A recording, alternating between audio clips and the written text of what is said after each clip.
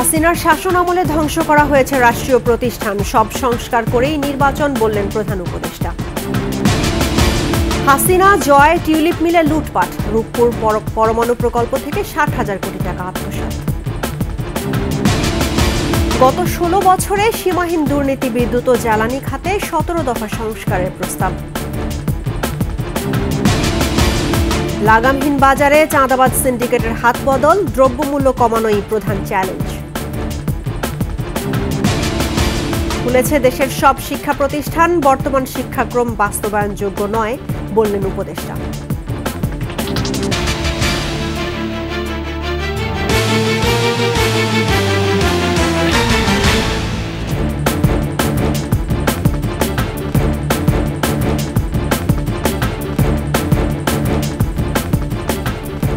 First Security Islami Bank PLC সংবাদ শিরোনাম। আমন্ত্রণ রাতের একুশে সংবাদে আপনাদের সঙ্গে আছি রাহনুমা রাহি দর্শক, একুশে টেলিভিশনের সংবাদ একই সাথে সরাসরি দেখতে পাবেন আমাদের Facebook page W dot Facebook dot com Ekushey twenty অনলাইনে এছাড়া সাবস্ক্রাইব করতে পারেন W dot YouTube dot com at Ekushey TV ETV চ্যানেলে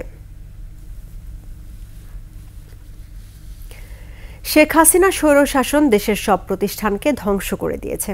বিচার বিভাগ সহ এসব প্রতিষ্ঠান সংস্কার করে সুষ্ঠু নির্বাচনের আয়োজন করা হবে। বিদেশি কূটনীতিক ও মিশন প্রধানদের ব্রিফিংয়ে এসব কথা জানিয়েছেন অন্তর্বর্তী সরকারের প্রধান উপদেষ্টা ডক্টর মোহাম্মদ ইউনুস। সংকটময় মুহূর্তে দেশ পরিচালনায় দায়িত্ব নিতে হয়েছে জানিয়ে কূটনীতিকদের সহায়তাও চান প্রধান উপদেষ্টা। রিপোর্ট প্রণব চক্রবর্তীর।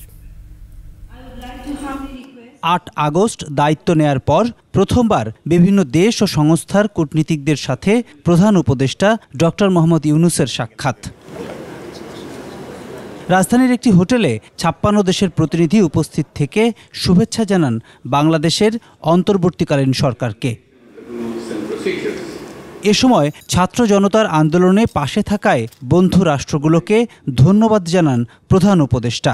সহযোগিতা চান নতুন বাংলাদেশের উন্নয়ন অগ্রযাত্রায় You are the friends who will help us get over the crisis that we are facing. Either we make it or we don't exist as a nation. That's the kind of challenge it presents right now.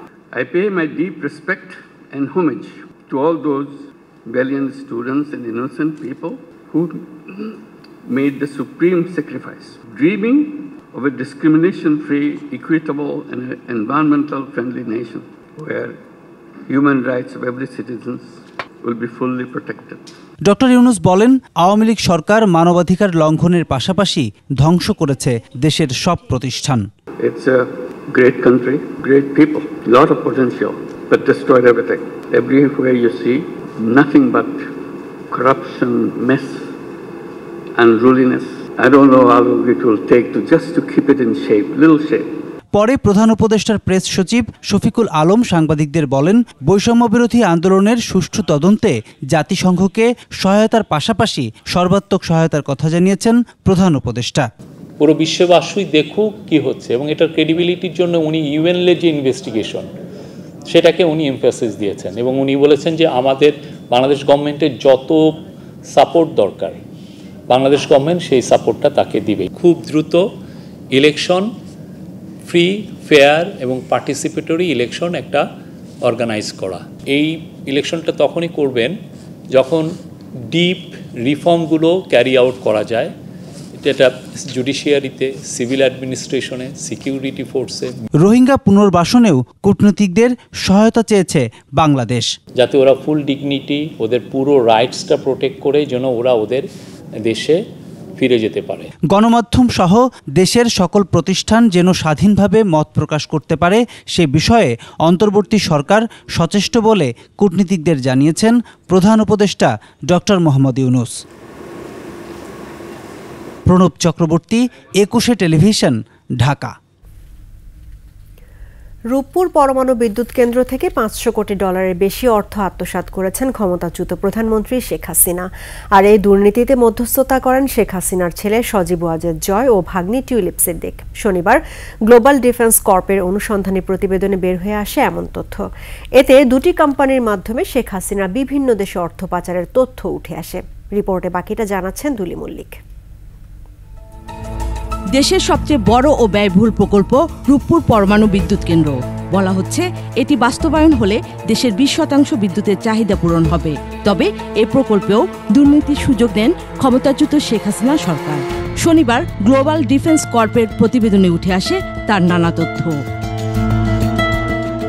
রাশিয়ার সহযোগিতায় বিদ্যুৎ কেন্দ্রটির নির্মাণে খরচ ধরা হয় এক হাজার দুইশো পঁয়ষট্টি কোটি ডলার।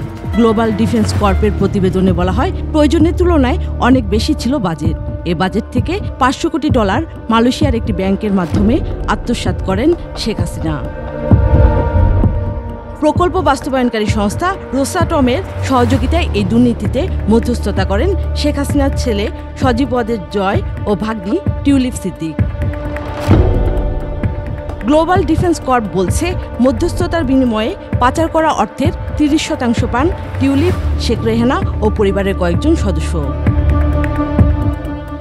অভিযোগ রয়েছে, পোচ্ছায়া লিমিটেড ও জুমানা ইনভেস্টমেন্ট নামে দুটি কোম্পানি চালু করেন টিউলিপ, তার মা শেখ রেহানা ও চাচা তৎকালীন প্রধানমন্ত্রী প্রতিরক্ষা উপদেষ্টা তারিক আহমেদ সিদ্দিক। ওই দুই কোম্পানির মাধ্যমেই শেখ হাসিনা যুক্তরাজ্য সহ বিশ্বের বিভিন্ন দেশে প্রায় নব্বই কোটি ডলার পাচার করেন।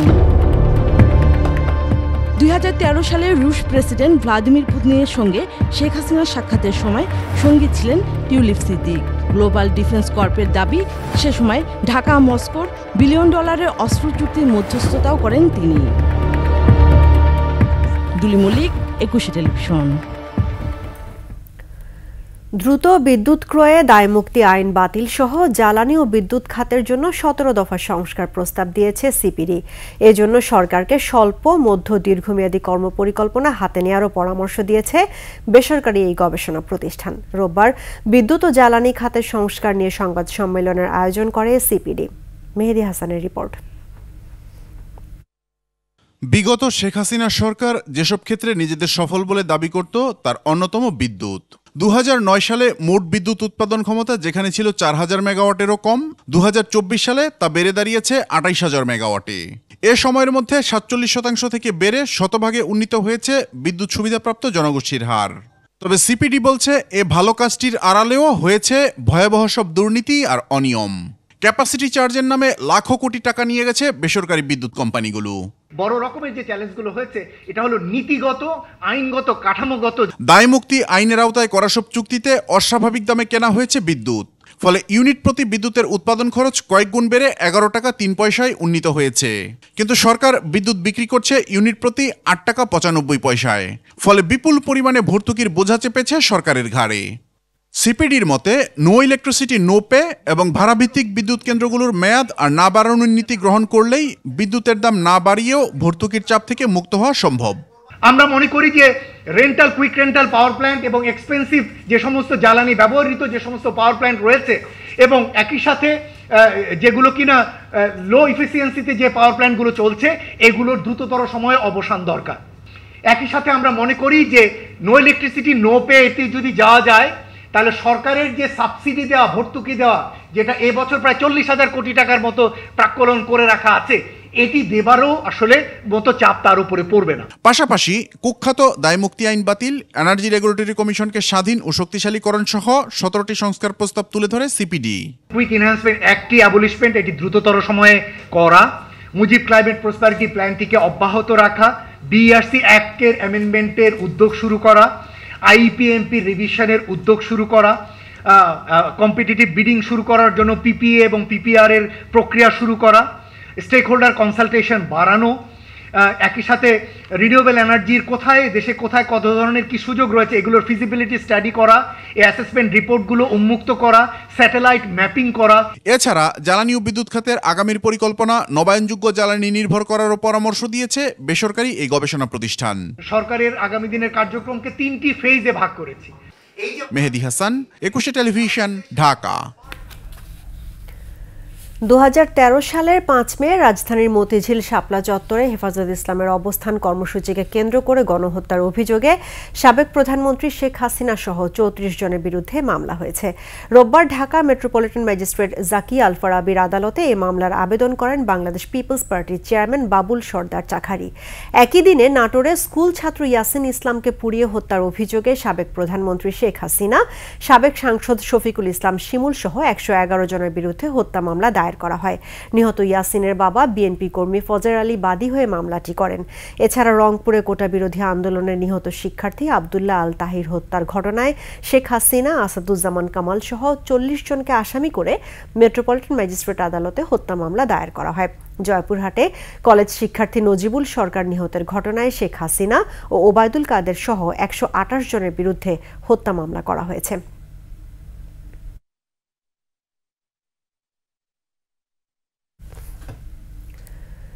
ক্ষমতাচ্যুত হাসিনা সরকারের সীমাহীন লুটপাটের আরেক নজির দেশের বিদ্যুৎ খাত।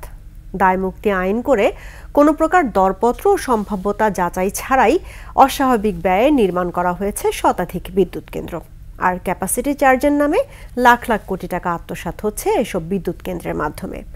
আওয়ামী লীগ নেতৃত্বাধীন সরকারের টানা ষোলো বছরে দু হাজার আটশো ত্রিশ কোটি ডলার বা প্রায় সাড়ে তিন লাখ কোটি টাকা ব্যয় হয়েছে এ খাতে। রিপোর্টে বাকিটা জানাচ্ছেন আকবর হোসেন সুমন। ষোলো বছর বিদ্যুৎ, জ্বালানি ও খনিজ সম্পদ মন্ত্রণালয়ের দায়িত্ব ছিলেন ক্ষমতাচ্যুত প্রধানমন্ত্রী শেখ হাসিনা। এই সময়ে একশো পঁচিশটি বিদ্যুৎ কেন্দ্রের অনুমোদন দেওয়া হয়েছে। এর আগে নতুন বিদ্যুৎ কেন্দ্রের নির্মাণ ব্যয় ও পরিচালনা নিয়ে যাতে কেউ আইনি পদক্ষেপ না নিতে পারে, তা ঠেকাতে প্রণয়ন করা হয় বিশেষ দায়মুক্তি আইন। এতে দরপত্র ও সম্ভাব্যতা যাচাই ছাড়াই বিদ্যুৎ কেন্দ্র নির্মাণের অনুমোদন পায় হাসিনা, ঘনিষ্ঠ বিভিন্ন ব্যক্তি ও প্রতিষ্ঠান। হাসিনার পতন হয়েছে, তবে এসব বিদ্যুৎ কেন্দ্রের মাধ্যমে দুর্নীতি, লুটপাট ও অর্থাচারের অভিযোগ থাকলেও দায়মুক্তি আইনের কারণে কোনো ব্যবস্থা নেওয়া যাচ্ছে না।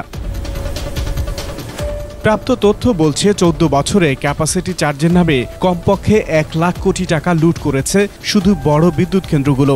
এর মধ্যে সামিট গ্রুপ দশ হাজার ছয়শো তেইশ কোটি, এগ্রিকো ইন্টারন্যাশনাল সাত হাজার নয়শো বত্রিশ কোটি, এরদা পাওয়ার সাত হাজার পাঁচশো তেইশ কোটি, ইউনাইটেড গ্রুপ ছয় হাজার পাঁচশো পঁচাত্তর কোটি, আরপিসিএল পাঁচ হাজার একশো সতেরো কোটি বাংলা ক্যাট পাঁচ হাজার সাতষট্টি কোটি, পায়রা বিদ্যুৎ কেন্দ্র চার হাজার পাঁচশো পঞ্চাশ কোটি, ওরিয়ন গ্রুপ চার হাজার পাঁচশো পঁচিশ কোটি, খুলনা পাওয়ার চার হাজার চুয়ান্ন কোটি এবং হোসাব গ্রুপ দু হাজার ছয়শো নিরানব্বই কোটি টাকার ভাগিদার।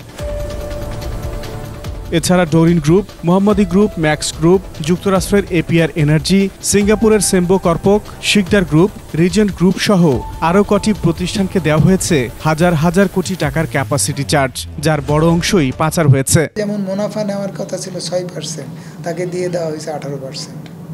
তাহলে ছয় থেকে আঠারো, তার মানে বারো পার্সেন্টই বেশি দেওয়া হলো। তাহলে এই বেশিটা যেটা দেওয়া হলো, সেটা লুণ্ঠনের সামিল। লুণ্ঠনও অবৈধ, যে আইন তাকে লুণ্ঠন বৈধতা দিচ্ছে, সে আইনও অবৈধ। লুণ্ঠন যে করছে, সে যেমন দোষী, আইন প্রণয়ন করে লুণ্ঠনের যে ক্ষেত্র প্রস্তুত করেছে, সেও দোষী। ক্যাপাসিটি চার্জের মধ্যে ওই মুনাফা বারো পার্সেন্টও যোগ আছে। দায়মুক্তি আইনের ফাঁক গলিয়ে বেরিয়ে যাওয়া দুর্নীতিবাজদের বিচারের মুখোমুখি করার সময়ের দাবি। একই সঙ্গে এই কালো আইনের সমালোচনাও করেছেন বিশেষজ্ঞরা। বিদ্যুৎ বিভাগ জ্বালানি বিভাগ এরা যে সমস্ত চুক্তির আওতায় বিনিয়োগকারী বিনিয়োগে নিশ্চিত করেছে সেগুলো প্রতিযোগিতাবিহীন এবং সেগুলোর ব্যয় বৃদ্ধি লাগামহীনভাবে ব্যয় বৃদ্ধি সুযোগ করেছে এবং যাকে তাকে বিনিয়োগকারী হিসেবে আনা বা এই খাতে অংশগ্রহণের সুযোগ দেওয়া হয়েছে। দুর্নীতিটাকে আইন দিয়ে প্রতিষ্ঠিত করেছে। বিদ্যুৎ ও জ্বালানি খাতের তহবিল সংকট সমাধানে বেসরকারি খাতের সাথে অন্যায্য সব চুক্তি বাতিলের পরামর্শ বিশেষজ্ঞদের। আকবর হোসেন সুমন, একুশে টেলিভিশন, ঢাকা। অন্তর্বর্তী সরকারের প্রথম সপ্তাহে নিত্যপণ্য সহ দ্রব্য সামগ্রীর দর সুলভ থাকলেও আবারও লাগামহীন হতে শুরু করেছে বাজার, নেপথ্যে চাঁদাবাজি। কেবল বদল হয়েছে চাঁদাবাজ সিন্ডিকেটের। আগে ছিল ছাত্রলীগ যুবলীগের নিয়ন্ত্রণ, এখন সেখানে অন্য কেউ। সংশ্লিষ্টরা বলছেন চাঁদাবাজের নিয়ন্ত্রণ করা না গেলে অসহনীয় হয়ে উঠবে সাধারণের জীবনযাপন। আদিত্য মামুনের রিপোর্ট। দৃশ্যটি রাজধানী ঢাকার প্রবেশপথ গাবতলির। আওয়ামী দুঃশাসনের অবসান ঘটেছে। তবু আন্তজেলা যাতায়াত করে এমন সব পরিবহনকেই এখনও দিতে হচ্ছে চাঁদা। পণ্যবাহী ট্রাক পিক আপ কাভার্ড ভ্যানের ক্ষেত্রেও এই চাঁদা অপরিহার্য। এটা মালিক সমিতির চাঁদা। হ্যাঁ? এখানকার, এখান ও পঞ্চাশ টাকা দেওয়া হয়েছে, এটা মালিক সমিতির চাঁদা।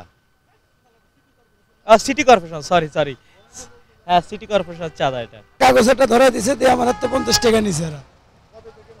এটা আজ তিন দিন ধরে নিতেছে মালিকানা চেঞ্জ হয় কিন্তু সরকারি টাকা এটা টোল ওঠে এমন চিত্র রাজধানীর আরেক প্রান্ত সায়দাবাদেও। হাতে লাঠি কণ্ঠে হুঙ্কার। চাঁদা না দিয়ে পার পাবে এমন সাধ্যকার? চাঁদাবাজিটা কোন দলে করতেছে এটা জানি না। এটাও বন্ধ করা উচিত। কারওয়ান বাজার। পথে পথে টাকা দিয়েই প্রতিটি পণ্যবাহী গাড়িকে ঢুকতে হচ্ছে মহাখালী, মিরপুরের মতো বড় বড় সব বাজার আড়তে। একে তো জ্বালানির উচ্চ মূল্য, তার উপর চাঁদার চাপ। সব মিলিয়ে পণ্য মূল্যের ঊর্ধ্বগতি। খাদ্য জিনিস সব কিছুতে দাম বাড়ে গেছে। চাঁদাবাজি আপনার অলরেডি আছে সারা বাংলাদেশে, আর পুলিশ আলারা তো হরানি আগে করতো। ওই জিনিসটা আমরা ভুলতে পারতাছি না। সারা দেশের পণ্যবাহী কাভার্ড ভ্যান পিক আপ ট্রাকের স্ট্যান্ড তেজগাঁয়ে কথা হয় চালকদের সাথে। নব্য চাঁদাবাজদের দৌরত্বের কথা জানান তারা। আমরা যারা ট্রাক ব্যবসায়ী আছে যারা ট্রাক ড্রাইভার আছে এদের মূল সমস্যাটা হলো চাঁদাবাজি। এখানে চাঁদা উপজেলার চাঁদা ওই চাঁদা সেই চাঁদা চাঁদা দিতে দিতে আমাদের জীবন শেষ। এদিকে তেলের দাম বাড়তি। সাধারণ মানুষ বলছেন দেশের স্বার্থে অন্তর্বর্তী সরকারকে সতর্ক থাকতে হবে বিতর্ক এড়াতে। আওয়ামী লীগ সরকার থাকতে যে চাঁদাটা হইতো এরা তো আর এখন নাই। তাহলে এখন কারা নিতেছে? এটা তো যারা এখন বর্তমান দেশের হাল ধরছে এদের বের করাটা উচিত দায়িত্ব। মূল্যস্ফীতি রোধ করে সাপ্লাই চেইন ঠিক রেখে বাজার মনিটরিংয়ের পরামর্শ এই অর্থনীতিবিদের। স্থানে স্থানে আগে যে চাঁদাবাজি ছিল সেই চাঁদাবাজিও শুরু হয়েছে যেটা ভিন্ন নামে হাত বদলের মাধ্যমে চাঁদাবাজি হচ্ছে। তো এই সব কারণে আহ, মোটামুটি ভাবে বাজারে স্বাভাবিক পণ্য সরবরাহ ঠিক নাই এবং এখানে পণ্যের দাম বৃদ্ধি পাচ্ছে। তার মতে, চাঁদাবাজি সিন্ডিকেটকে এখনই না থামালে অর্থনীতিতে এর প্রভাব হবে নেতিবাচক। আদিত্য মামুন, একুশে টেলিভিশন, ঢাকা।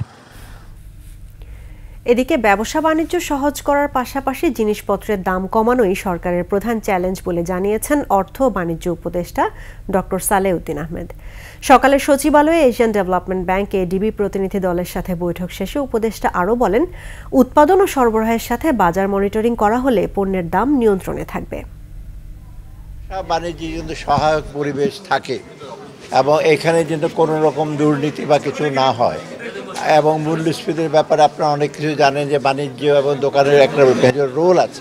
অর্থাৎ এইগুলো যেন দূরীভূত হয়, এবং সাধারণ মানুষের সমস্যাগুলো শুধু খাদ্যদ্রব্য না, অন্য অন্য জিনিসগুলো যেগুলো বাণিজ্যের সাথে রিলেটেড এগুলো আমরা চেষ্টা করব যত শীঘ্র সম্ভব এগুলো সমাধান করি দ্রব্যমূল্য ব্যাপারটা হলো, একটা হলো আপনার উৎপাদন আর একটা সরবরাহ। উৎপাদনটা দেশে হয়, সরবরাহ দেশে হয় বাইরের থেকে আনতে হবে। যেখানে বাণিজ্য হিসেবে সংস্থা আছে। ওই রিলেটেড যেগুলো যে আছে, সেগুলো যত সম্ভব সহায়ক পরিবেশ হয় বাণিজ্যে। আমরা অনেক সময় ইম্পোর্টেড ইনফ্লেশন হয়, তাই না? ওই ব্যাপারে এবং ব্যবসা বাণিজ্য ইস্যুগুলো বডিগুলো রিলেটেড আমরা ওইদিকে যথেষ্ট সজাগ আছি। কোটা সংস্কার আন্দোলন ঘিরে প্রায় এক মাস বন্ধ থাকার পর আজ খুলেছে দেশের সব স্তরের শিক্ষা প্রতিষ্ঠান। বেসরকারি বিশ্ববিদ্যালয়গুলো আংশিক খুললেও পাবলিক ও সরকারি বিশ্ববিদ্যালয়গুলোতে এখনও চালু হয়নি শ্রেণি কার্যক্রম। বিস্তারিত জানাচ্ছেন শিউলি শবনম। এক মাসেরও বেশি সময় পর শ্রেণীকক্ষে শিক্ষার্থীরা বাসায় দীর্ঘদিনের অবরুদ্ধ অবস্থা থেকে মুক্ত হওয়ার আনন্দ তাই শিশুদের চোখে মুখে সবচেয়ে বেশি। অচল অবস্থা কেটে গিয়ে প্রাণের উচ্ছ্বাসে মেতেছে শিক্ষা প্রতিষ্ঠানগুলো। ট্রেনিং কার্যক্রমে আবার অংশগ্রহণ করতে পেরে আমি অবশ্যই খুশি। পড়াশোনার যেটুকু ক্ষতি হয়েছে তা আমরা আবার ক্ষতিটা পূরণ করতে পারব। শিক্ষার সুষ্ঠু পরিবেশ ফিরেছে বলছেন শিক্ষক ও অভিভাবকরা। অনেকদিন স্কুলে নাই তাদের মধ্যে একটা শূন্যতা ছিল। আজকে স্কুলে এসে আমি তাদের মুখের দিকে তাকিয়ে বুঝতে পারছি তারা অনেক খুশি? বাকি চার মাস মাসে এখন দ্বিতীয় ছয় মাসের পড়াটা কভার হবে কিনা এখন আল্লাপাক সেই জানে। শিক্ষা প্রতিষ্ঠান খোলার প্রথম দিনে বিভিন্ন কলেজে দেখা যায় একাদশ শ্রেণীতে সদ্য ভর্তি হওয়া শিক্ষার্থীদের বরণ করে নিতে। অবশেষে কলেজ জীবন শুরু করতে পারায় আনন্দিত তারা। শিক্ষকরাও জানান স্বস্তি ফেরার কথা। এদের দেখে আমরা সত্যি আবেগে আপ্লুত। আমরা দীর্ঘদিন পর আমরা একটা খুব শান্ত পরিবেশে আমাদের ছাত্রগুলোকে আমরা দেখেছি। আমরা চাই যে আমাদের শিক্ষকরা অনেক আন্তরিকভাবে আমাদেরকে এই ক্ষতিটা পুষিয়ে দেবেন। আন্দোলনের কারণে আমাদের কলেজটা কিছুদিন ধরে খুলতে পারেনি একটু ব্যাঘাত ঘটেছে বাট এখন খুলেছে তো আমরা অনেক এক্সাইটেড শিক্ষার্থীদের আন্দোলনের মুখে অধ্যক্ষ বা প্রধান শিক্ষকের পদত্যাগের ফলে অনেক স্কুল কলেজে শ্রেণি কার্যক্রম শুরু হলেও বন্ধ রয়েছে প্রশাসনিক কার্যক্রম। এদিকে বেসরকারি বিশ্ববিদ্যালয়গুলো আংশিক শ্রেণি কার্যক্রম শুরু করলেও ঢাকা বিশ্ববিদ্যালয় সহ বিভিন্ন পাবলিক ও সরকারি বিশ্ববিদ্যালয়ে এখনও ক্লাস শুরুর বিষয়ে কোনো নির্দেশনা পায়নি শিক্ষার্থীরা। ডিপার্টমেন্ট থেকে এখনও কিছু জানানো হয় নাই ক্লাস কবের বা ক্লাস আদৌ শুরু হবে কিনা ডিপার্টমেন্টের অফিস থেকে আসলাম কিছু কাজ কার্যক্রম ছিল সেগুলো মোটামুটি আছে চলমান আছে কিন্তু ক্লাসের সম্পর্কে এখনও তেমন নোটিশ আসেনি। শিক্ষকরা বলছেন আন্দোলনে ক্ষতিগ্রস্ত হওয়া ক্লাসরুম ও হলগুলো সংস্কার করে যত দ্রুত সম্ভব খুলে দেওয়া হবে বিশ্ববিদ্যালয়। আমাদের হলের কিছু রুম টুম ভাঙচুর হয়েছে তো এগুলাকে মানে ছেলের জন্য হেবিটেবল না করে বসবাস না করে হয়তো করা সম্ভব না হয়তো আর কিছু সময় নেবে বৈষম্য বিরোধী ছাত্র আন্দোলন ঘিরে গত সতেরো জুলাই থেকে শিক্ষার্থীদের নিরাপত্তা বিবেচনায় অনির্দিষ্টকালের জন্য শিক্ষা প্রতিষ্ঠানে শ্রেণি কার্যক্রম বন্ধ ঘোষণা করা হয়। শিউলি শবনম, একুশে টেলিভিশন, ঢাকা। এদিকে বর্তমান শিক্ষাক্রম বাস্তবায়নযোগ্য নয় বলে জানিয়েছেন অন্তর্বর্তী সরকারের শিক্ষা উপদেষ্টা ওয়াহিদ উদ্দিন মাহমুদ। নিজ মন্ত্রণালয়ে দায়িত্ব গ্রহণের পর সকালে উপদেষ্টা আরও বলেন, পর্যায়ক্রমে পুরনো শিক্ষাক্রমে ফেরত যাওয়া হবে। এই শিক্ষাক্রম বাস্তবায়নযোগ্য নয় বলে প্রতীয়মান হচ্ছে। আমরা কীভাবে অন্তত আগের শিক্ষাক্রমে ফিরে যাব এমনভাবে যাতে এখন যারা এখন যারা এই বা এই শিক্ষাক্রম, নতুন শিক্ষাক্রমে আছে, তাদের যাতে কোনো অস্বস্তি না হয়। রাতের সংবাদে একটা বিরতি নিচ্ছি। যখন ফিরছি তখন অন্যান্য খবরের সঙ্গে আরও থাকবে। স্বাধীন গণমাধ্যম কমিশন গঠন করা হবে। জানালেন তথ্য উপদেষ্টা সাগর রুনি হত্যায় পুনঃ তদন্তের আশ্বাস। খালেদা জিয়া দ্রুতই চিকিৎসার জন্য বিদেশে যাবেন। হাসিনাকে ফেরত পাঠাতে ভারতকে অনুরোধ বিএনপি।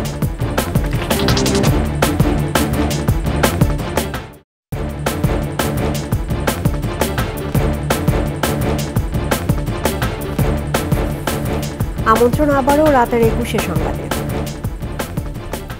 আগামী সাত দিনের মধ্যে মেট্রো রেল চালু হবে বলে জানিয়েছেন সড়ক পরিবহন সেতু মন্ত্রণালয়ের দায়িত্বপ্রাপ্ত উপদেষ্টা ফাউজুল কবির খান। সচিবালয়ে নিজ মন্ত্রণালয়ের দায়িত্ব বুঝে নিয়ে ঊর্ধ্বতন কর্মকর্তাদের সাথে বৈঠক করেন উপদেষ্টা।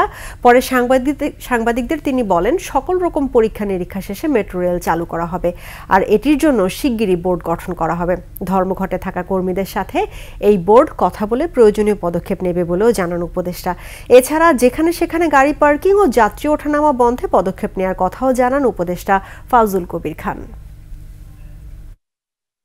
প্রধান উপদেষ্টা দপ্তরের একজন প্রতিনিধি এবং কি বলে যে বিদ্যুৎ বিভাগের একজন প্রতিনিধি মিসিং ছিলেন।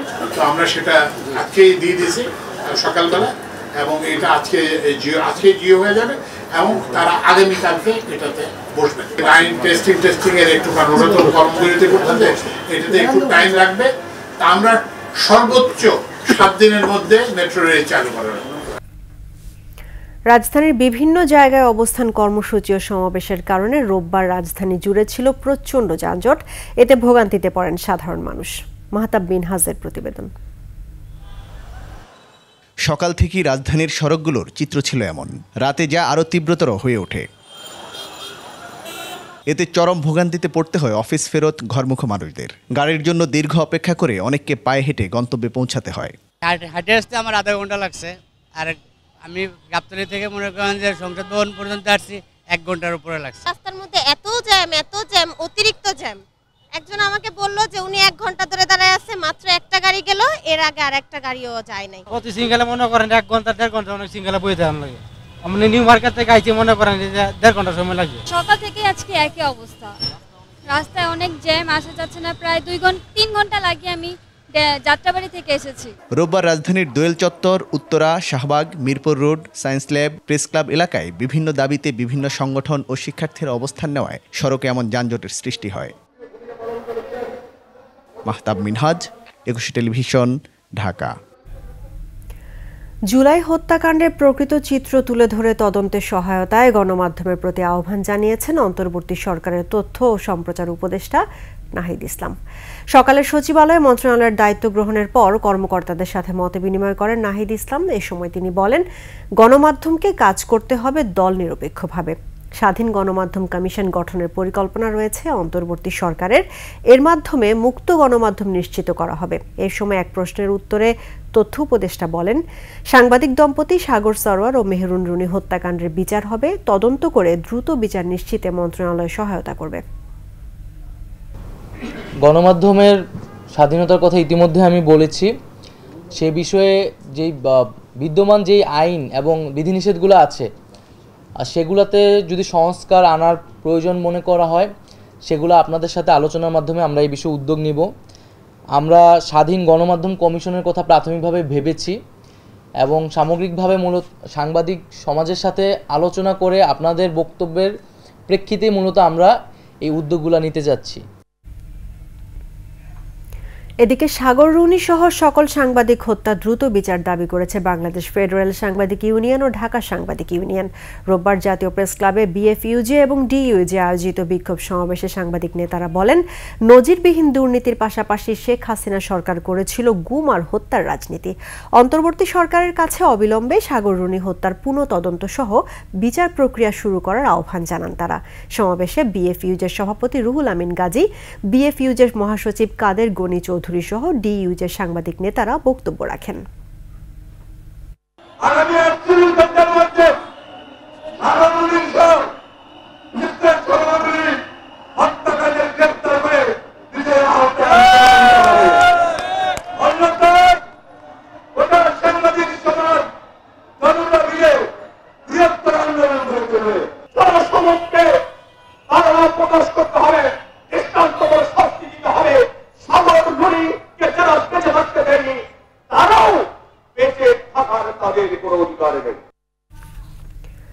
জনগণের প্রত্যাশা ও আকাঙ্ক্ষাকে গুরুত্ব দিয়ে নির্বাহী আদেশে বিদ্যুৎ ও গ্যাসের দাম এখনই বাড়ছে না বলে জানালেন বিদ্যুৎ জ্বালানি এবং খনিজ সম্পদ মন্ত্রণালয়ের উপদেষ্টা ফায়জুল কবির খান।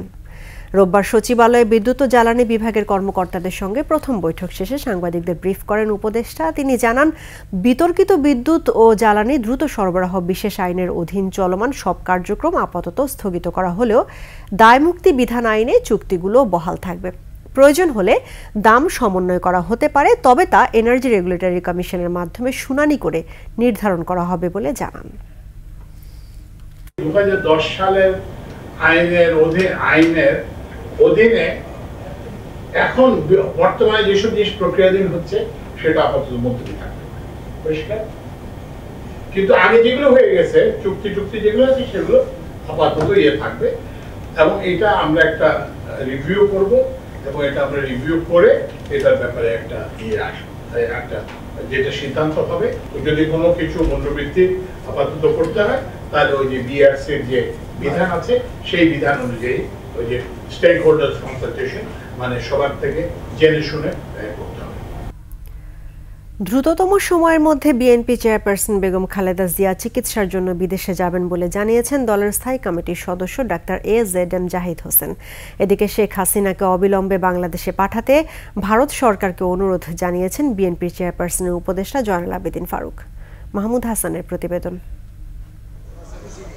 জাতীয় চক্ষু বিজ্ঞান ইনস্টিটিউটে কোটা আন্দোলনের সময় আহতদের দেখতে আসেন বিএনপির স্থায়ী কমিটির সদস্য doctor A Z M Zahid Hossain. এ সময় আহতদের খোঁজ খবর নেন তিনি। জাহিদ হোসেন বলেন, সাড়ে সাতশোরও বেশি মানুষ চোখে আঘাত নিয়ে এই হাসপাতালে চিকিৎসা নিয়েছেন। বর্তমানে এগারো জন রোগী দু চোখে দেখছেন না। তাদের আরও উন্নত চিকিৎসার জন্য বিএনপি সব ধরনের সহায়তা করবে। কারও এক চোখ এর মধ্যে গুলি লেগেছে, কারও দুই চোখে গুলি লেগেছে, কেউ চোখে কিছুই দেখতে পাচ্ছে না। এই চোখের যে চিকিৎসা, এটা কিন্তু সকল মেডিকেল কলেজ বা সকল হাসপাতালে দেওয়া সম্ভব না। চিকিৎসার ব্যাপারে সরকার যেটি করছে, করবে এর বাইরেও বাংলাদেশ জাতীয়তাবাদী দল তার নিজস্ব উদ্যোগে চিকিৎসার ব্যাপারে আমাদের যা যা করণীয় আমাদের সামর্থ্য অনুযায়ী আমাদের দল সে অনুযায়ী তাদেরকে সহযোগিতা করবে। দ্রুত সময়ের মধ্যে বিএনপি চেয়ারপারসন খালেদা জিয়া চিকিৎসার জন্য দেশের বাইরে যাবেন বলেও জানান জাহিদ হোসেন। এটি একটি প্রক্রিয়ার মধ্যে আছে। এখন পর্যন্ত দেশ এবং কোন প্রতিষ্ঠান এটি ফাইনালাইজ হয় নাই। এই যে দীর্ঘ সময় কারা কারান্তরীণ ছিলেন বিভিন্ন অসুখ আপনাদেরকে আমরা বিভিন্ন সময় বলেছি। কাজে এটি হয়তো খুব সহসা হবে। এদিকে জাতীয় প্রেস ক্লাবে এক অনুষ্ঠানে শেখ হাসিনাকে অবিলম্বে বাংলাদেশে পাঠাতে ভারত সরকারকে অনুরোধ জানান বিএনপির চেয়ারপারসনের উপদেষ্টা জয়নুল আবদিন ফারুক।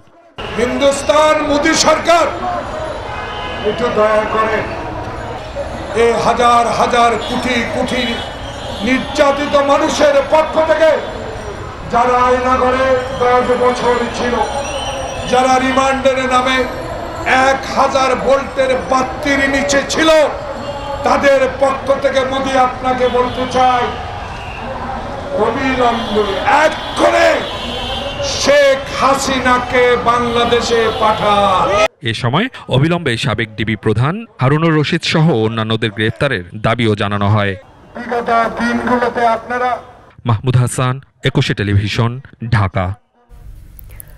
ক্ষমতাচ্যুত প্রধানমন্ত্রী শেখ হাসিনার পদত্যাগ ও দেশ ছাড়ার পর পাঁচ অগাস্ট প্রাণ রক্ষায় রাজনৈতিক ব্যক্তিসহ মোট ছশো ছাব্বিশ জনকে বিভিন্ন সেনানিবাসে আশ্রয় দেওয়া হয়েছিল বলে জানিয়েছে আন্তঃবাহিনী জনসংযোগ পরিদপ্তর আইএসপিআর।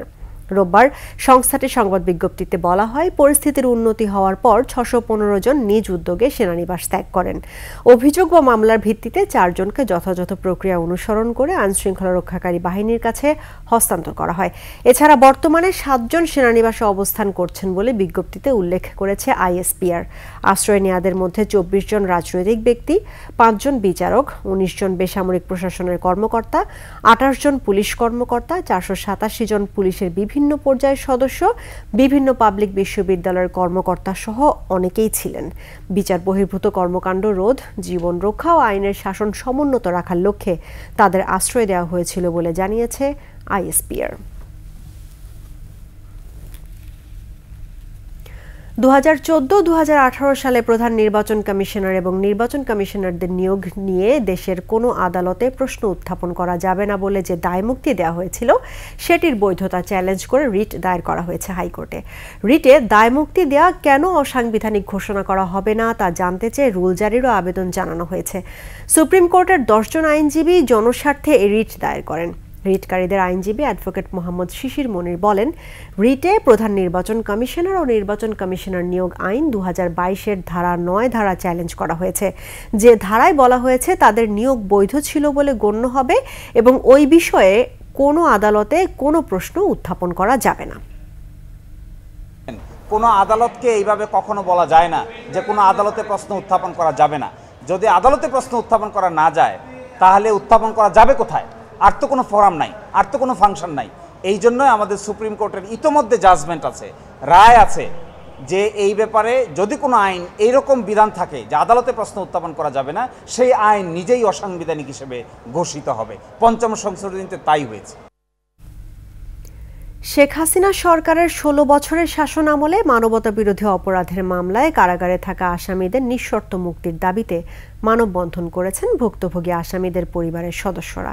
এদিকে ট্রাইব্যুনালে দ্রুত বিচারক নিয়োগ ও মামলা নিষ্পত্তির আহ্বান জানান আন্তর্জাতিক অপরাধ ট্রাইব্যুনালের আসামি পক্ষের আইনজীবীরা। বিস্তারিত শাকের আরজুর রিপোর্টে। সকাল থেকেই আন্তর্জাতিক অপরাধ ট্রাইব্যুনালের সামনে প্ল্যাকার্ড নিয়ে জড়ো হন প্রায় তিনশো ভুক্তভোগী পরিবারের সদস্য ও আত্মীয় স্বজন তাদের দাবি, রাজনৈতিক প্রতিহিংসা চরিতার্থ করতে নিরপরাধ তাদের স্বজনদের মিথ্যা মামলা দিয়ে বন্দি রাখা হয়েছে। তারা দ্রুত মানবতাবিরোধী এসব মামলা প্রত্যাহার করে কারাবন্দী সবার মুক্তি দাবি জানান। আমি একমাত্র এসেছি, আমার পিতাকে এই মামলার থেকে বিলকুল খালাস দেওয়া হোক। তারা ঘরের মধ্যে গিয়ে তার সাজানো কথাবার্তা সাক্ষীদের শিখাই দিয়েছেন এবং সেইভাবে রেকর্ড করে সেগুলো তারা রিপোর্ট জমা দিয়েছেন। কারাগারে বন্দি অবস্থায় কয়েকজন মারা গেছেন দাবি করে তাদের আত্মীয়রাও আসেন ন্যায় বিচারের আশায়। আজকে আট মাস হয়েছে আমার স্বামী মারা গেছে। মারা যাওয়ার বাদে তারা কবর দিছে। আমি মুক্তিযোদ্ধার উপাধি চাই আমার স্বামীর। এক আর আমার দেওয়ার জেলে তার মুক্তি চাই এও মুক্তিযোদ্ধা। একটা মিথ্যা মামলা দিয়ে কাদিরকে সহযোগিতা করে মিথ্যা মামলা দিয়ে তাকে আসামি করে আজকে ওনার বয়স নব্বই পঁচানব্বই বছর বয়স উনি অন্ধকার কারাগারে। এদিকে ট্রাইব্যুনালের রাষ্ট্রপক্ষে সব আইনজীবী পদত্যাগ করায় দ্রুত বিচারক নিয়োগ ও আইনি প্রক্রিয়ায় মামলা নিষ্পত্তির আহ্বান জানান আন্তর্জাতিক অপরাধ ট্রাইব্যুনালের আসামি পক্ষের আইনজীবীরা। তাদেরকে নির্বাহী আদেশ দিয়ে তাদেরকে মুক্তির দাবি জানাচ্ছে। আর আমরা আইনজীবী হিসাবে বলতে চাচ্ছি যে যেহেতু দুইজন বিচারক নেই এবং প্রসিকিউটররা সবাই পদত্যাগ করেছেন। সেই ক্ষেত্রে যোগ্য প্রসিকিউটর এবং ন্যায় বিচারক জজ নিয়োগ দিয়ে পুনর্গঠন আমরা দাবি জানাচ্ছি। পরে আইন উপদেষ্টা বরাবর আসামিদের মুক্তির দাবিতে স্মারকলিপি পেশ করা হয়। শাকের আরজু, একুশে টেলিভিশন, ঢাকা। রংপুরে বেগম রোকেয়া বিশ্ববিদ্যালয়ের শিক্ষার্থী আবু সাইদ হত্যায় পুলিশের IG, metropolitan police commissioner, range DIG ও নয় পুলিশ কর্মকর্তা সহ সতেরো জনকে আসামি করে মামলা দায়ের করা হয়। রংপুর মেট্রোপলিটন তাজহাট থানায় এই হত্যা মামলা দায়ের করা হয়। মামলার বাদে নিহত আবু সাইদের বড় ভাই রমজান আলী।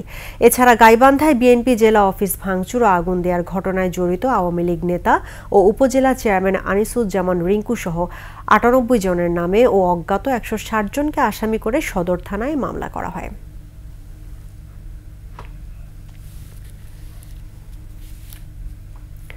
রাতের সংবাদের সময় হলো আরও একটি বিরতির। যখন ফিরব তখন অন্যান্য খবরের সঙ্গে আরও থাকবে। কলকাতায় বিক্ষোভ দমনে একশো চুয়াল্লিশ ধারা জারি, মামলা পুলিশ থেকে সিবিআই প্রথমবারের মতো দেশে হচ্ছে স্পোর্টস ইনস্টিটিউট, নারী বিশ্বকাপ নিয়ে আইসিসির সাথে আলোচনা চলমান।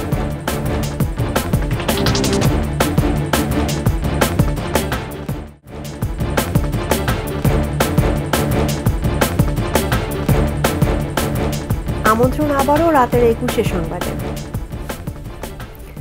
ছাত্র জনতার আন্দোলনে নিহতদের পরিবারের ব্যয়ভার বহন ও পরিবারের সদস্যদের চাকরি দেওয়ার দাবি জানানো হয়েছে।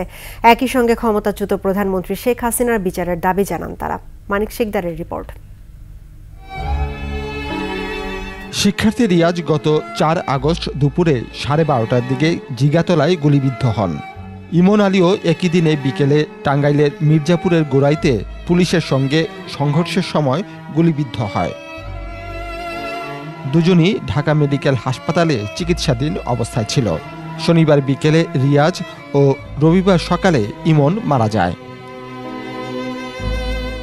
কেন্দ্রীয় শহীদ মিনারে নিহত এই দুজন আন্দোলনকারীর জানাজা সম্পন্ন হয়। এ সময় সমন্বয়করা অন্তর্বর্তীকালীন সরকারের কাছে শহীদ পরিবারের সদস্যদের জন্য চাকরির দাবি জানান। রাষ্ট্র শুধু আমাদের এই দুইজন ভাই নয়, আমরা আমাদের যে ভাইদের হারিয়েছি, শহীদ হয়েছেন, অবশ্যই সকলের দায়িত্ব রাষ্ট্রকে নিতে হবে। আমাদের ভাইয়েরা তাদের জীবন দিয়ে দেশের দায়িত্ব আমাদেরকে দিয়ে গেছেন। সেই দায়িত্ব পালন করতে আমরা বদ্ধপরিকর। রিয়াজ ভাই, ইমন ভাই সহ যারা শহীদ হয়েছেন, তাদের প্রত্যেকের পরিবারের দায়িত্ব অন্তর্বর্তীকালীন সরকার নেবে। একই সাথে নিহতদের ব্যয়ভার বহনের জন্য আবেদন করে বৈষম্য বিরোধী ছাত্র আন্দোলন। মানিক শিকদার একুশে টেলিভিশন ঢাকা। গেল সতেরোই অগস্ট ছিল আনোয়ার গ্রুপের প্রতিষ্ঠাতা চেয়ারম্যান আলহাজ আনোয়ার হোসেনের তৃতীয় মৃত্যুবার্ষিকী। আলহাজ আনোয়ার হোসেন ছিলেন বাংলাদেশের শিল্পায়নের মহানায়ক। স্বাধীনতা পরবর্তী বাংলাদেশের অর্থনৈতিক অবকাঠামোর ভিত্তি নির্মাণে তার অবদান অনস্বীকার্য। তিনি আজ নেই, তবু তার আদর্শ রয়ে গেছে। রয়ে গেছে তার রেখে যাওয়া চোদ্দ হাজার সদস্যের আনোয়ার গ্রুপ পরিবার। বিশেষ দিনটিতে তার রুহের মাগফেরাত কামনায় দেশবাসীর কাছে দোয়া প্রার্থনা করেছে আনোয়ার গ্রুপ পরিবার।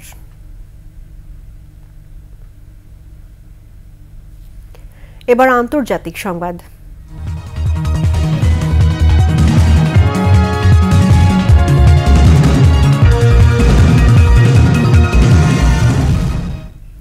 ইসরায়েলের প্রেসিডেন্ট নেতানিয়াহুর কারণে গাজায় যুদ্ধবিরতি হচ্ছে না বলে অভিযোগ তুলেছে ফিলিস্তিনের স্বাধীনতাকামী সংগঠন হামাস। আল জাজিরাকে দেয়া সাক্ষাৎকারে হামাস নেতা ওসামা হামদান জানান, নেতানিয়াহু ও তার সরকারের যুদ্ধবিরতি বাস্তবায়নের ইচ্ছে নেই। এছাড়া ফিলিস্তিনিদের বিরুদ্ধে সংঘটিত গণহত্যা এবং অপরাধ যুক্তরাষ্ট্র পশ্চিমা দেশগুলোর নিরঙ্কুশ সমর্থনে হচ্ছে বলে মন্তব্য করেন হামাস নেতা।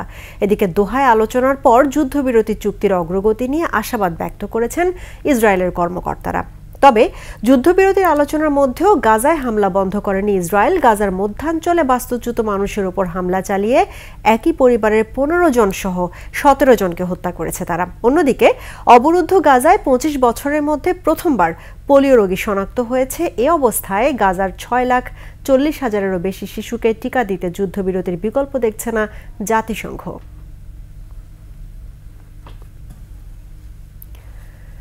ভারতের তরুণী চিকিৎসক ধর্ষণ ও হত্যার ঘটনায় চলা বিক্ষোভ দমনে কলকাতার আরজিকর হাসপাতাল সংলগ্ন এলাকায় আজ থেকে এক সপ্তাহের জন্য একশো চুয়াল্লিশ ধারা জারি করেছে পুলিশ। এদিকে মামলাটি পুলিশ থেকে সিবিআইয়ের কাছে হস্তান্তর করেছে হাইকোর্ট। হত্যাকাণ্ড নিয়ে ভ্রান্তি ছড়ানোর অভিযোগের মধ্যে থানায় একে একে তলব করা হচ্ছে হাসপাতালটির চিকিৎসক আর রাজনৈতিক ব্যক্তিদের। এদিকে নারীদের নিরাপত্তা দিতে না পারার অভিযোগ তুলে পশ্চিমবঙ্গের মুখ্যমন্ত্রী মমতা ব্যানার্জিকে পদত্যাগ করার দাবি জানিয়ে মিছিল করেছে বিজেপি। অন্তর্বর্তী সরকারের যুব ক্রীড়া মন্ত্রণালয়ের দায়িত্ব নেয়ার পর প্রথম কোনো পরিকল্পনার ঘোষণা দিলেন উপদেষ্টা আসিফ মাহমুদ সজীব ভূঁইয়া। প্রথমবারের মতো স্পোর্টস ইনস্টিটিউট তৈরির প্রতিশ্রুতি দিয়ে আসিফ মাহমুদ জানান, নারী টি টোয়েন্টি বিশ্বকাপ নিয়ে আইসিসির সাথে আলোচনা চলছে সরকারের। সংবাদ সম্মেলনে যুব ক্রীড়া উপদেষ্টা সাফ জানান, ক্রিকেট বোর্ড সহ যে কোনো ফেডারেশনের দুর্নীতির সাথে যারা যুক্ত ছিলেন তাদের কোনো ছাড় দেওয়া হবে না। আকাশুজ্জামানের রিপোর্ট। ক্রীড়াবিদদের পেশাগত সফলতার ক্ষেত্রে শারীরিক কৌশলগত ও মানসিক সক্ষমতার সর্বোচ্চ অর্জন ও বাস্তবায়নে যুগান্তকারী পদক্ষেপ নিয়েছে যুব ও ক্রীড়া মন্ত্রণালয়। দায়িত্ব নেয়ার পর উপদেষ্টা আসিফ মাহমুদ সজীব ভুইয়ার প্রথম পরিকল্পনা দেশের মাটিতে হবে প্রথম স্পোর্টস ইনস্টিটিউট। তারা নির্ধারিত করবে এবং বিস্তারিত একটা রিপোর্ট ক্রীড়াঙ্গনে এই ইনস্টিটিউট কীভাবে সফলতা বয়ে আনবে এবং এটির কার্যকারিতা কেমন হতে পারে সেটিরও ব্যাখ্যা দিয়েছেন যুব ক্রীড়া উপদেষ্টা। পিক পারফরমেন্সের জায়গায় আমাদের একটা দুর্বলতা রয়েছে। তার জন্য আমাদের স্পেসিফিক কোনো প্রতিষ্ঠান নেই। যে কারণে আমরা আন্তর্জাতিক পর্যায়ে যখন আমাদের অ্যাথলেটরা যান, সেখানে আমরা অভিষ্ট লক্ষ্যে পৌঁছাতে পারি না। সেই জায়গায় ব্যর্থ হই। পিক পারফরমেন্সের জন্য প্রশিক্ষণ দেওয়ার জন্যই স্পোর্টস ইউনিট স্পোর্টস ইনস্টিটিউট প্রকল্প নেওয়া হয়েছে এবং একই সাথে ক্রীড়াক্ষেত্রে বিকল্প কর্মসংস্থান যেটা একটা আমাদের দেখা যায় আউটসোর্স করতে হয় স্পোর্টস মার্কেটিং থেকে শুরু করে অনেকগুলো বিষয়। সেগুলোর জন্য প্রশিক্ষণ দেওয়ার জন্য এই স্পোর্টস ইনস্টিটিউট কাজ করবে। উঠে আসে নারী টি টোয়েন্টি বিশ্বকাপ আয়োজন প্রসঙ্গ। আসিফ মাহমুদ সজীব ভুইয়া বলেন এমন সংকটাপন্ন অবস্থায় যে দলগুলো আসবে তাদের নিরাপত্তা নিশ্চিত করাই বড় দায়িত্ব। সে লক্ষ্যে কাজ করে যাচ্ছে অন্তর্বর্তী সরকার। তো এই সব কিছু বিবেচনায় এটা তো শুধুমাত্র স্পোর্টস মিনিস্টার মিনিস্ট্রির মধ্যে আর নেই এটা স্টেট ম্যাটার। তো সবার সাথে আলোচনার ভিত্তিতে এই বিষয়ে আমরা একটা সিদ্ধান্ত নিব। আইসিসির সাথে আমাদের কমিউনিকেশন চলমান আছে প্রক্রিয়াধীন আছে দ্রুতই আপনাদেরকে এই বিষয়ে একটা সিদ্ধান্ত আমরা জানাতে পারব আশা করি। বিসিবি সভাপতি নাজমুল হাসান পাপনের পদত্যাগের নিশ্চয়তা এখনও পাননি বলে দাবি করেছেন ক্রীড়া উপদেষ্টা আসিফ মাহমুদ সজীব ভুইয়া। তবে ক্রীড়া সংস্থাগুলোর প্রধানদের আসনে দ্রুতই পরিবর্তনের আশ্বাস দিয়েছেন উপদেষ্টা। যে গঠনতন্ত্র আছে আমাদের প্রত্যেকটি ফেডারেশনের সেই গঠনতন্ত্রগুলোও যাতে ডেমোক্রেটিক হয় এবং সেখানেও যাতে একনায়কতন্ত্র চর্চা করার সুযোগ না থাকে সেভাবে সেগুলোকেও পুনর্গঠন করার আমাদের পরিকল্পনা আছে। আকাশুজ্জামান একুশে টেলিভিশন। অবশেষে বদলে গেল বাংলাদেশ পাকিস্তান দ্বিতীয় টেস্টের ভেন্যু সংস্কার কাজের জন্য করাচির দর্শক শূন্য ন্যাশনাল স্টেডিয়ামে সিরিজের দ্বিতীয় টেস্ট হওয়ার কথা ছিল, তবে সমালোচনার মুখে পিসিবি ভেন্যু পরিবর্তন করে রাওয়ালপিন্ডিতে নিয়ে এসেছে। ত্রিশে অগাস্ট শুরু হবে এই টেস্ট, তার আগে একুশে অগাস্ট থেকে প্রথম টেস্টও রাওয়ালপিন্ডিতেই হবে। আর এরই সঙ্গে শেষ করছি রাতের একুশে সংবাদ, তবে যাবার আগে First Security Islami Bank PLC সংবাদ শিরোনামগুলো জানাব আরও একবার। হাসিনার শাসন আমলে ধ্বংস করা হয়েছে রাষ্ট্রীয় প্রতিষ্ঠান। সব সংস্কার করেই নির্বাচন, বললেন প্রধান উপদেষ্টা। হাসিনা জয় টিউলিপ মিলে লুটপাট। রূপপুর পরমাণু প্রকল্প থেকে ষাট হাজার কোটি টাকা আত্মসাৎ। গত ষোলো বছরে সীমাহীন দুর্নীতি, বিদ্যুৎ ও জ্বালানি খাতে সতেরো দফা সংস্কারের প্রস্তাব। লাগামহীন বাজারে চাঁদাবাজ সিন্ডিকেটের হাত বদল। দ্রব্যমূল্য কমানোই প্রধান চ্যালেঞ্জ। খুলেছে দেশের সব শিক্ষা প্রতিষ্ঠান বর্তমান শিক্ষাক্রম বাস্তবায়নযোগ্য নয়, বললেন উপদেষ্টা।